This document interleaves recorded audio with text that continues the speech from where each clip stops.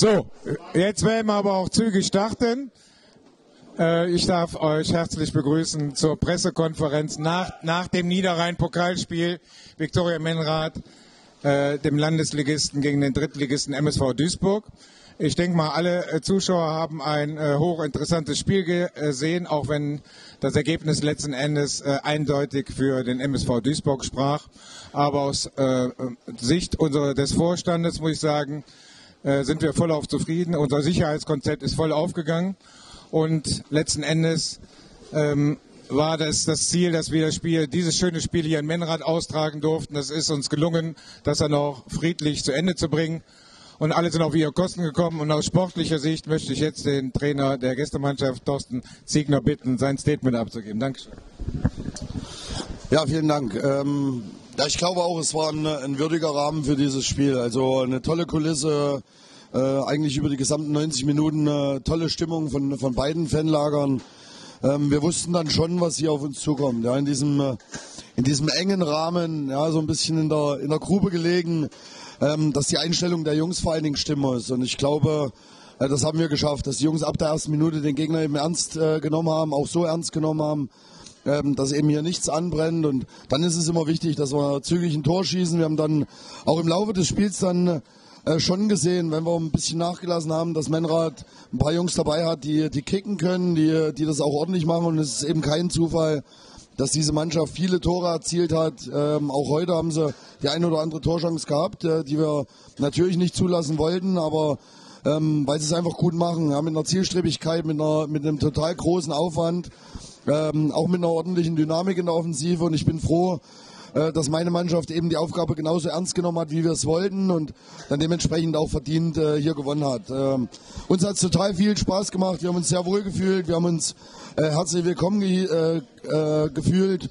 Und ähm, das ist immer schön, das eben auch hier äh, in diesem Raum zu sehen. Und ähm, wir werden uns jetzt ordentlich regenerieren, ordentlich vorbereiten auf unser Montagsspiel und euch, Simon, wünsche ich natürlich für den Aufgalopp in der neuen Liga äh, alles Gute. Ich bin äh, der festen Überzeugung, wenn ihr so weitermacht, dass es auch möglich ist, in dieser Liga eine gute Rolle zu spielen. Wir drücken die Daumen und aufgrund des Spiels heute werden wir es natürlich auch weiter verfolgen. Vielen Dank.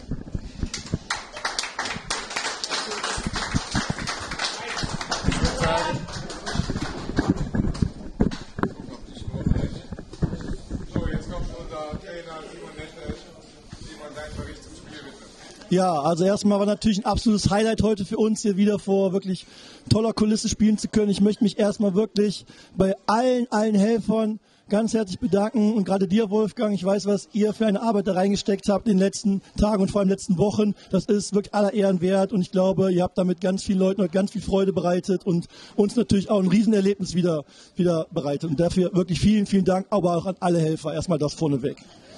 Ja, insgesamt natürlich ein Highlight heute. Glückwunsch natürlich zum, zum hochverdienten Sieg.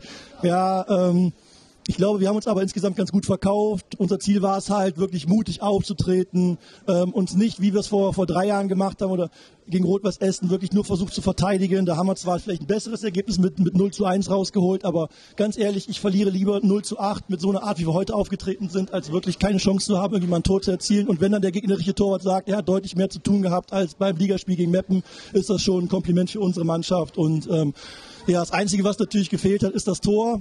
Das hätten wir uns natürlich wirklich gewünscht. Ähm, ja, aber letztendlich muss ich sagen, ein guter Auftritt von unseren Jungs und, und das macht Mut für die Saison, für Sonntag, für den Ligaauftakt. Für einen Trainer ist natürlich bei so einem Spiel echt ein kleiner Wermutstropfen, deswegen bin ich gerade so ein bisschen zweigeteilt bei so einem Highlight-Spiel, dass ich dann letztendlich nur 16 Spieler einwechseln kann und ich hatte noch wirklich, wirklich viele gute Jungs auf der Bank, die es genauso verdient gehabt hätten zu spielen, die konnte ich nicht bringen und das schmerzt natürlich dann, dann so ein bisschen mehr und äh, für die Jungs tut's mir leid. Ähm, aber ich glaube, das sind wirklich charakterlich ganz feine Kerle, ähm, hauen sich da wieder rein und, und haben ja vielleicht Sonntag die Chance zu spielen. Und das, das geht natürlich jetzt der Blick nach vorne. Ähm, das war jetzt ein Bonusspiel für uns und ja, wir nehmen das gerne, gerne mit, aber jetzt wirklich schon in drei Tagen geht es für uns weiter und dann schauen wir mal, wie wir in die Liga reinkommen. Ja, euch wünsche ich wirklich viel, viel Erfolg für die weitere Saison. Ja, ich glaube, ja, da ist vielleicht was drin dieses Jahr und, und man muss natürlich von Spiel zu Spiel schauen und, und aber alles Gute dann auch und ja.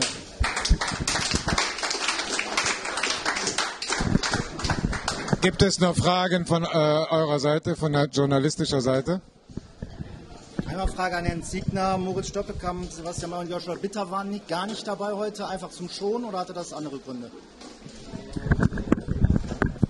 Ja, sowohl als auch. Also ähm, äh, Stoppel und äh, Joshua Bitter hatten äh, kleinere Blessuren äh, aus dem Mappenspiel eben noch mit sich rumzuschleppen. Äh, für uns geht es dann auch weiter am, am kommenden Montag, wo wir die beiden Jungs brauchen. Sebastian May äh, haben wir heute mal geschont, er ist äh, zu uns gekommen aus einer langen Verletzung und ähm, dort ist der Rhythmus Wochenende, Wochenende für ihn aktuell noch besser, äh, um eben, eben äh, irgendwann dann äh, komplett fit zu sein.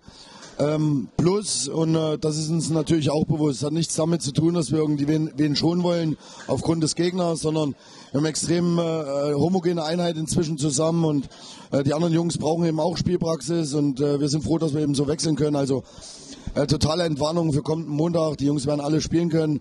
Auch für heute hat der ein oder andere mal eine Pause gebraucht.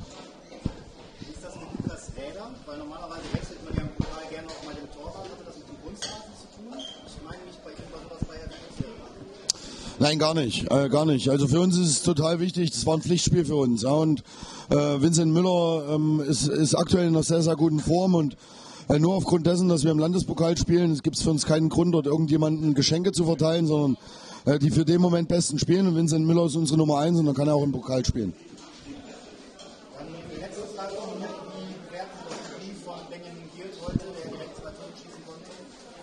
Ja, ist natürlich schön, vor allen Dingen für ihn, ja, dass er mit seinem ersten Auftritt, er hat äh, gestern das erste Mal mit der Mannschaft trainiert, heute Morgen dann nochmal bei der Mannschaft äh, Aktivierung mitgemacht. Und dann ist natürlich für so einen Spieler gut, wenn er, wenn er sofort trifft. Ja, ähm, das wird ihm Selbstvertrauen geben. Er ist ein Stürmer. Stürmer werden an Toren gemessen. Er selbst misst sich auch daran. Und das ist positiv. Äh, auf der anderen Seite hat er jetzt auch eine ganze Weile nicht gespielt. Das heißt, auch er braucht noch ein paar äh, Tage, um, um 100% fit zu sein. Wir sind froh, dass wir mit Benny jetzt eine Alternative dazu gefunden haben, um in der, in der Offensive eben noch unausrechenbarer zu sein und möglicherweise auch, auch auf die eine oder andere Situation reagieren zu können.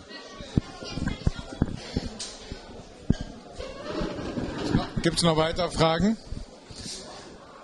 Ja, dann äh, würde ich sagen, dann läuten wir das Ende der Pressekonferenz ein bei den Temperaturen hier. Ich möchte abschließend mich bei allen äh, Verantwortlichen des MSV Duisburg bedanken.